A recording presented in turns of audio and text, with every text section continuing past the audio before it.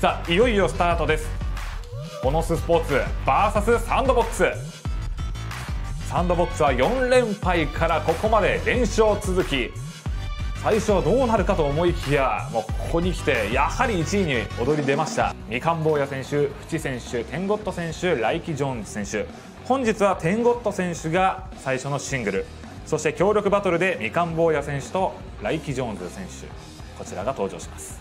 そして今回新中選手がシングル戦イード選手カーニー選手が協力バトルになります。イード選手、カーニー選手のペアはずっと 2on2 にいるんですけれども、はい、えー、本日はビーバー選手が出てこないといったところで、まあ、この新中選手も非常にこのワンオンワン非常に強い選手なんですよね、はい、えー、高回転のバルーンなんかを、ね、使いこなすプレイヤーです。天ゴット選手来ましたさあ今のところワンワン成績5勝2敗というところでかなり勝率は高いんですが、はい、あのジャイアント使いなんですよね、えー、えーと結構ジャイアントをバンされたりとか警戒されてもいるので、まあ、そのジャイアント以外のデッキをどれだけ数仕上げてきているかというところにも注目していきたいです。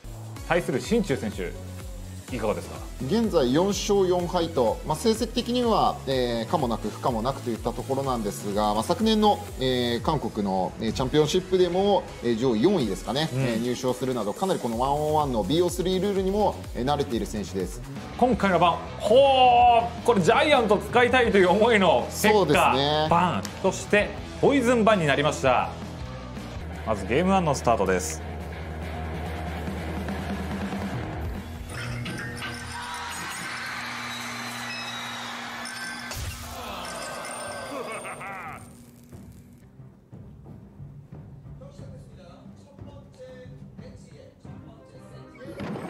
まずは小屋ですね。やはりこの、えー、ポイズンバンされている状況での小屋。をいきなりラバーで仕掛けていきました。天GOD選手のラバあんまり見ないですね、ね、はい、先日はこのみかん坊や選手同じチームのみかん坊や選手が、まあ、ラバー・ディガーの、えー、戦術でエクスボマスター選手に勝利を収めてました。ここはランバージャックを墓石で引き寄せていきますラバーハウンド左上にはそこは巨大スケルトンとメガガーゴイルで対応してきました。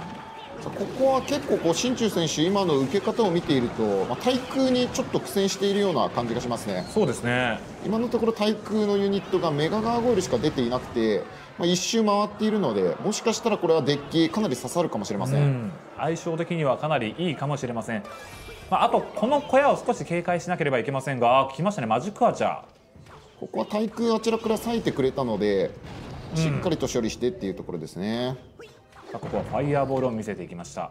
一旦リセットがかかりますがもう一度小屋を立てていきます。まあ、小屋がある方には出したくないので左からラバハウンド。この位置だとラバハウンドはタワーにそのまま向かってくれるので、はい、あまり痛い位置ではないですね。ここはランバージャックを墓石で処理していきますいい交換ですね、そうですね。新中選手としても対空があまりないのでそういったところでちょっとこのなるべく回して自分の対空をラバに当てていきたいという思いがあると思います。メガゴを見てここはインドラを出していきますが巨大スケルトンを出していきます。さあここはラバパピーが破裂してここはトルネードです。今のトルネードもしかすると、えー、爆破ダメージ巻き込みたかったのかもしれませんが。ここいいですね。いいボえいいディガですねそしてラバパピー1体が残ってマジックアーチャーは刺さっているようにも見えて当たっていませんでした。いいダメージ入りました。まあ、この時点でテンゴット選手相手の対空ユニットメガガーグルそしてマジックアーチャーを完全に捉えているので、はい、ラバにメガゴを出させてそして、えー、後から出てくるマジックアーチャーにファイアーボールのサイクルを作れていますここは巨大スケルトンランバージャックのコンボそしてメガガーゴイル左は無視する形で攻めていきます。新中選手それに対してアウトローで引き寄せてそしてインフェルノドラゴンでターゲットを奪いつつダメージを与えて巨大スケルトンの爆発ダメージは受けません。ここはもう対空の、えーと、メガガーゴイル割いているので左守りきることができません、はい、残り10コスト貯めていたのでここはディガーファイヤーボールで処理。左はラバハウンドのみで終了でしょうしっかり右防衛できました。天GOD選手完璧です。いやいい滑り出しですね。こちらもテンゴット選手のラバーハウンド全く警戒していないデッキでしたね、うん、ドズルさんもおっしゃってましたもんね。こうアウトローが入ることによってラバーハウンドが強くなると相対的にこう強くなるというふうにおっしゃっていました。そのラバーハウンドをまずは1本目で使いました2本目はどうなることやら見ていきましょう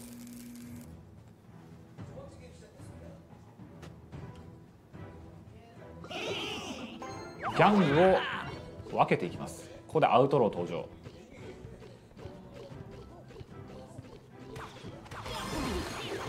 こはアイスウィズ。このアイスウィズも、えーと、おっとクロスボウクロスボウですか。さあそこに。おおこれ枯渇いやどうでしょうねこれ。ちょっとまだデッキが読めないんですが、まあ、結構このクロスボウに対しての今ユニットが苦戦している感じがするのでさあここ、はい、おっと？おアイスウィズ。なんとか受けました。ここ位置が1個いや入ってもギリギリ入ってますね、うん、少しダメージ受けました。ちょっと今テンゴット選手の受けを見てみるとあのプリンスギャングなんかで一生懸命受けていたイメージがあるので、はい、軸がある、ね、出来ではなさそうですね。クロスボウの受けに少し苦戦しそうです。もう一度クロスボウここはバレルです。そしたまずアイスピで受けて。バレルにはアウトロー。そして右のサイドのタワーは大きなダメージを受けつつプリンスが前に出ます。ここは右そのままおられる可能性高いですねここはもう右は放置と言っていいでしょう。プリンセスを出してかなり厳しい状況に追い込まれていきます。こうなってしまうとクロスボウを防衛でしっかり引きこもると、えー、防衛力かなり高いデッキですので、まあ、テンゴット選手の、まあ、正面の基軸であるゴブリンバレルではなかなかこう攻め立てることは難しいかもしれません。そして残り1分10秒です。バレルだけで攻めるのは非常に時間としても厳しい状況ですまずはバレルローリングとここはもう新中選手としてはしっかりと守って、まあ、逆転されないことをされない形をまあ作っていく戦い方になるでしょうね。プリンスを後ろから出してそこにはテスラアイスゴーレムで壁を立てていきます。ギャングが見えてそしてバレルを見てアウトローアイススピリットで処理。最低限のダメージで抑えます。アウトローを見たのでここはローリングとで処理そしてクロスも立てますね。ここはもう攻めのクロスを立てて、まあ、相手にエリクサを使わせて時間を稼いでいこうという。もう一度バレル一旦防衛のクロスボウが立っているともうバレルも刺さらないですしプリンセスがすぐやられてしまったりと。アウトローが見えて。うんこれはさすがに厳しいといったところでしょうか。バレルを放って残り5秒。ファイヤーボールで処理ここは新中選手の勝利となりました。1対1すごいですね。ゲーム1と打って変わって今度は新中選手が、まあ、デッキの、ね、選択としてかなり、ね、いい選択をしてきました。強気に出ましたね。そうですね。ジャイアント使いのテンゴット選手に対して、まあ、クロスボウを選択するというところが、はい、一気に刺さりましたね。テンゴット選手この試合勝つことができるんでしょうか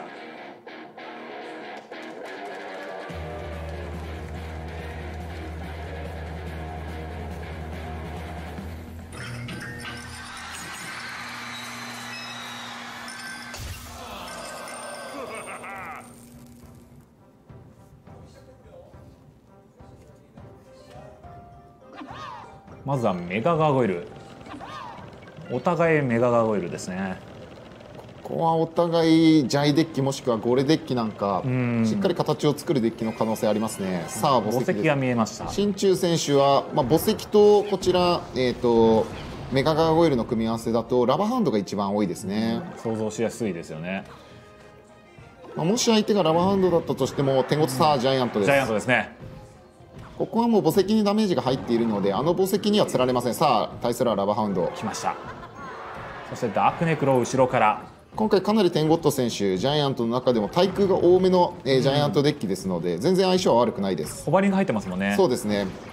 まあ、あとはファイアボールにこうどう対応するかといいますか。巻き込まれないように戦うのみです。ここはザップでキャンセルさせてジャイガーのこのパンチを2発ほど入れることに成功します一方ラバハウンドにはここはコウモリと合わせてメガガーゴイルで処理します。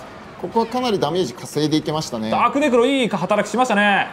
ランバーの殴りも入りましたしさあここでカウンターです。さあ2回目のジャイアント。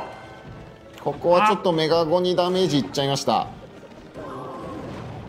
ただローリングウッドでここは墓石を処理しまして2発入れば1発そして入りますまずは1本目のタワーをゲット。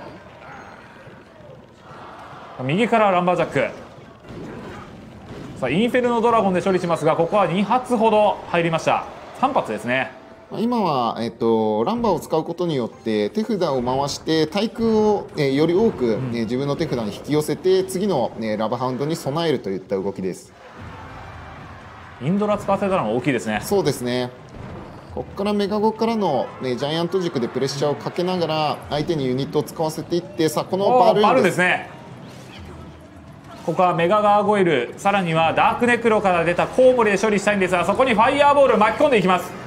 メガガーゴイルはまだ残っている。パピーを殴っていますがここはバルーンは処理できない状況でしょう。もうカウンターで2本目を降りに行きたいテンゴット選手。ジャイアントの軸から後ろからホバリング砲。メガガーゴイルさあランバージャックの効果でジャイアントのパンチが入る。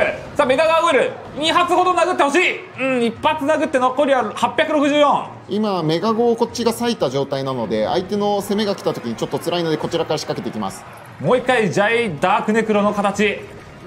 インフェルノドラゴンはここは一度コウモリに入ったのでジャイアントは少し長くいきそうです。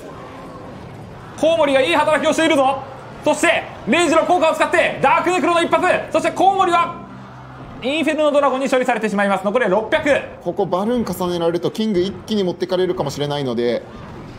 さあ中央からのカウンターに行きたいか。さあバルーンが来る。インフェルノドラゴンはまずは処理。そして中央からここはジャイアントを出していく。さあバルーンが速いのかジャイアントが速いのか。しかし墓石を置いてここはターゲットを移していく。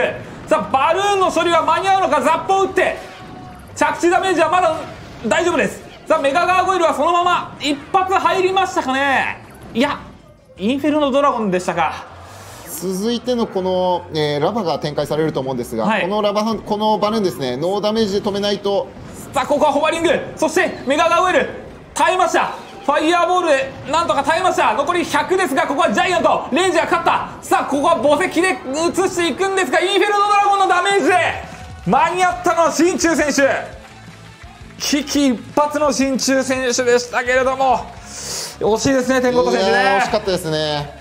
序盤はかなりダメージのリードも取れてあのいい試合展開だったんですがやはり1分を切ってからのこのラバーハウンドの猛攻そして新中選手のこのラババルの作り方ですね、え、序盤にエリクサーの無駄なく、ま、しっかり終盤に形を作ってくる形に対して、ま、対空がちょっと間に合わなくなってしまったといったところでした。